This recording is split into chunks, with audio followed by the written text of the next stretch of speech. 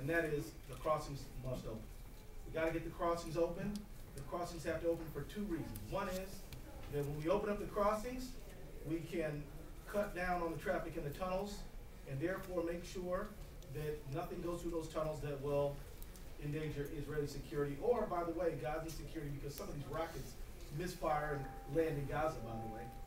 But also to address the desperate humanitarian conditions that we saw in Gaza. We were only there for a day. We got there at about nine o'clock in the morning. We ended up having to leave at around four o'clock. But in the course of a day, we saw the industrial infrastructure bashed to the ground.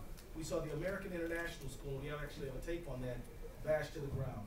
Brian Baird went, went, digging, through, fishing through the rubble, rubble and pulled out uh, uh, the school uh, yearbook, which uh, which showed you know a tremendous amount of hope and promise that the young people had, and, and the dedication of their of their teachers and the people who ran the school. Um, in all in all the time that we were there, we talked with business people, we talked with young people, we talked with medical people, we talked with everybody. Each time Brian and I told them that we are American members of Congress, and in no time did we receive anger, hostility, or derision from anyone. We were actually treated with tremendous amount of cordiality.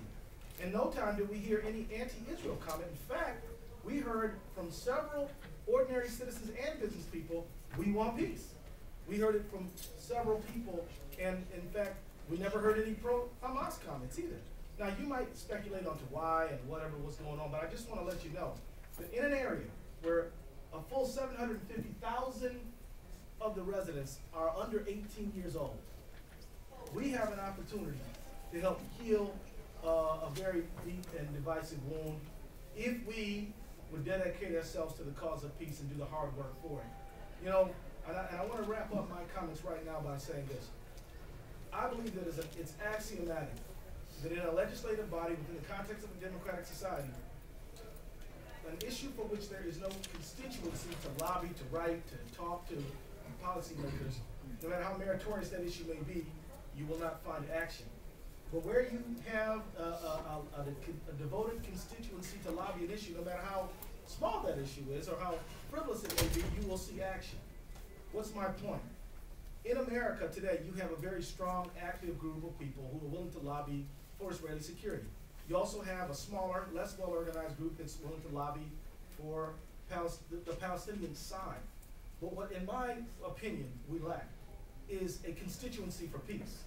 And we have to develop a constituency for peace. People who are willing to say, no, the United States cannot back away from the table. Yes, the United States has to be part of that solution. We are willing to lobby, write, talk to our legislators, offer legislation to make peace possible. This is a region of 300 million people, a region of 300 million people from Iraq all the way to the Maghreb. It's a beautiful place full of great people. The zero comes from here. Abraham comes from here. Jesus walked this area, and so did Muhammad. There's, there's no reason in the world why we cannot have a thriving, prosperous region of the world if we would confront conflict in a forthright and dogged and determined way. That's all I have to say. Thank you.